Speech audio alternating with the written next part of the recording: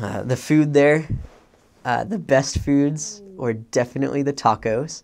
Um, they had these little uh, taco stands out in the street. Before you go to any taco stand, make sure you ask the members, many members, just multi- as many members as you can, which taco stands are good. Uh, because there were some times that instead of feeding um, pig meat, uh, the taco vendors will uh, slip in dog meat, and it would make you really, really sick. So make sure you ask around for which which taco stands are the best, um, and go to those ones uh, so that you don't get sick. Um, as long as you go to those ones, you should be fine. They're really, really good, and I highly recommend that you that you try some of the tacos al pastor. Uh, they're little. It's from the thigh. I, want to say of the pig, the meat from the thigh, and they would throw uh, pineapple on it and uh, onion and um, cilantro, and you could throw on your your um, salsa, and you were good to go.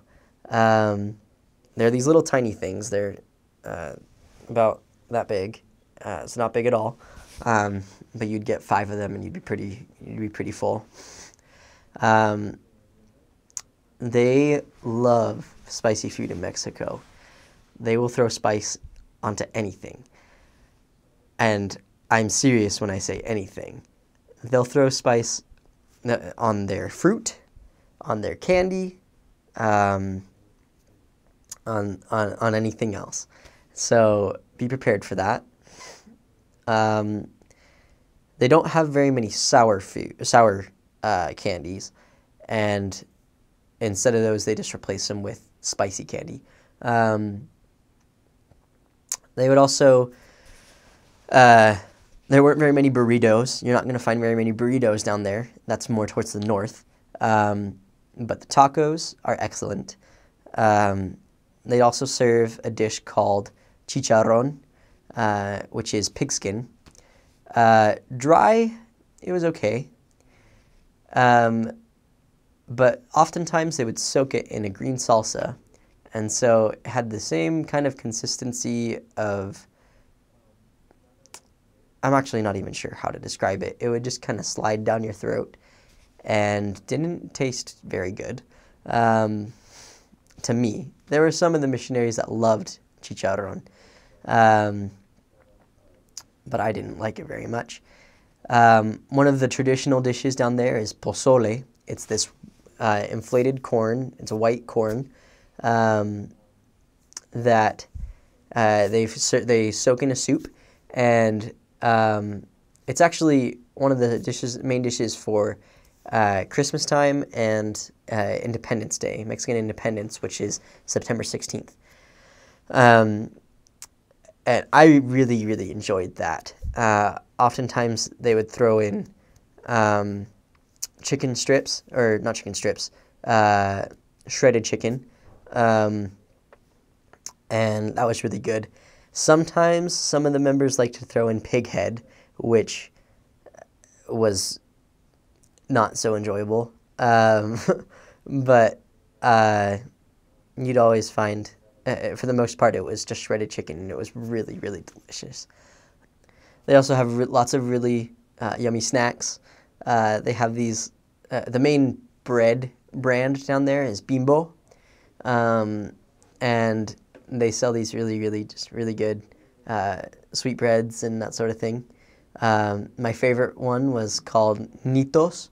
Uh, it used to be called El Negrito, um, but people got offended, uh, and so they they started calling them Nitos. It's just really what it is is they've sealed off a hot dog bun and pumped it full of chocolate and then uh, had chocolate icing on top.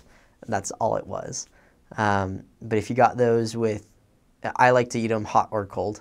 Um, just heat it up in a microwave or or eat it straight from the wrapper or straight from the store, and I, I thought it was really good. Um, they had lots of fruit bars and um, uh, little candies that were a lot of fun. Um, so I highly recommend that you that you get some of those. Um, uh, one of the things down there that um, I was kind of sad about is they don't really celebrate Thanksgiving very much, um, and so you want to.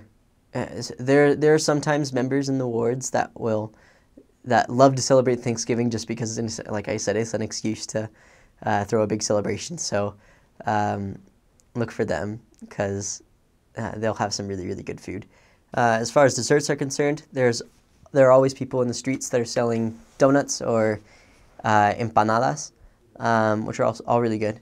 Um, and they there'll be people selling flan. Um, it was this I don't even know how to describe it. It's uh, kind of like a jello. Um, I really liked that. Um, and they, I had talked about the tamales. Um, I would usually get those in the morning. Uh, there, my last area, there was a tamale stand. Probably the best tamales I'd tried my entire mission. The area is called uh, Zapata. It's in uh, Valle de Chalco in the uh, Solidaridad stake. And so these tamales, they were different from the, from the rest of them. Uh, they would sell uh, raspberry cheesecake tamales. They would sell um, orange flavored tamales, lemon flavored tamales, um, arroz con leche tamales uh, chocolate tamales, all sorts of things. They were that was the best stand by far. Um, for the most part, the tamales were uh, they would have four different um, flavors. They would have tamales verdes, which is uh, just green salsa tamales. Uh, they're kind of a milder, spicy ones. Tamales uh, de rajas, which is a spicier one. They had a lot of uh, chile, uh, chili peppers stuck in there. Uh, tamale de mole. Mole was a very interesting dish um, where they would grind up a whole bunch of different condiments, just like tons of different things, different types of peppers, chocolate beans, um, dried fruits and vegetables, etc. Um, they would grind it all up and soak it and create this kind of sauce that they would uh, put on top of chicken and rice and other things. And um, so they would have uh, tamales that flavor. There were two different kinds of moles for the most part. Um, generally, they would either be tamale, or sorry, mole verde or mole uh, roja, uh, which the verde, I when I got there, I really really liked mole verde. It was really really good. Um, and it took me a while to get used to mole uh, roja, but uh, after a while, I, I started to enjoy that a lot as well. Um, they, and then the fourth type of tamale was uh, tamales dulces, which is just like a strawberry uh, flavored tamale. Um, sometimes they would put little raisins in it, and I didn't like that very much. And sometimes they would sell uh, tamales, uh, pineapple flavored tamales um, which I also didn't like very much. But I mean, to each his own. Um, and they also sell sold a lot of elotes. Elotes are just it's just corn on the cob, uh, and they would put mayonnaise and cheese and uh, a little bit of uh, chili spice, like a, a dust almost. Um, it was really really good. Um, and then they would also sell these uh, plantains, uh, fried plantains. A lot of missionaries really loved them.